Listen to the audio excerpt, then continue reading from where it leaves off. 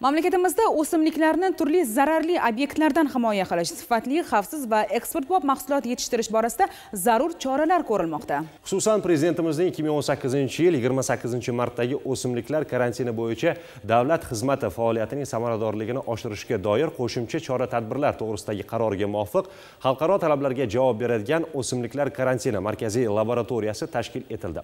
Mazkur laboratoriya imkoniyatlari bilan tanishtirish maqsadida ommaviy axborot vositalari vakillari vakillari uchun press tur ham uyushtirildi.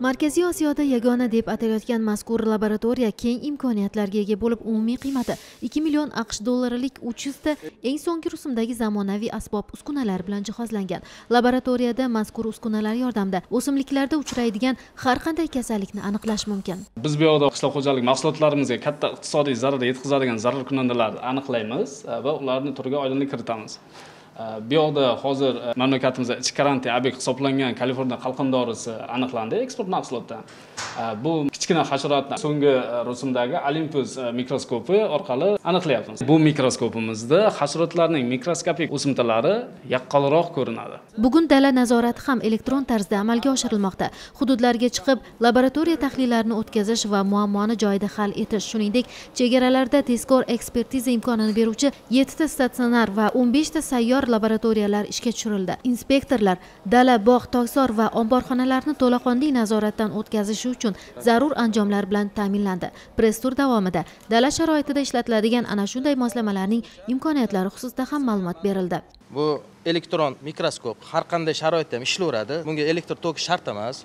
Buni dala sharoitida olib borib tekshirib foto video tasmaga olingandan keyin buni to'g'ridan to'g'ri mana e, planshetga planshetga jo'natiladi.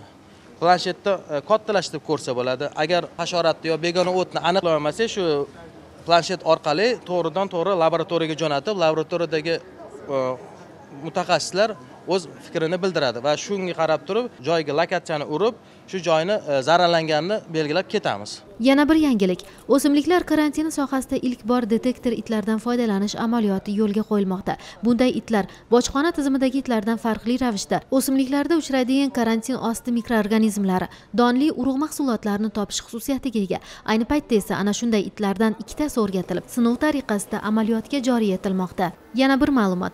Tizim hujjatlarini elektron tarzda yuborish va qabul qilish imkonini beruvchi e fito xalqaro tizimiga mdh davlatlari orasida birinchilardan bo'lib ulandi. O'simliklar karantini davlat inspeksiyasi mutasaddilari bilan o'tgan uchrashuvda jurnalistlar sohadagi shu va boshqa yangiliklar bilan tanisharkan bu borada o'zlarini qiziqtirgan savollarga javoblar olishdi. Madina umarova sirojiddin husanov yoshlar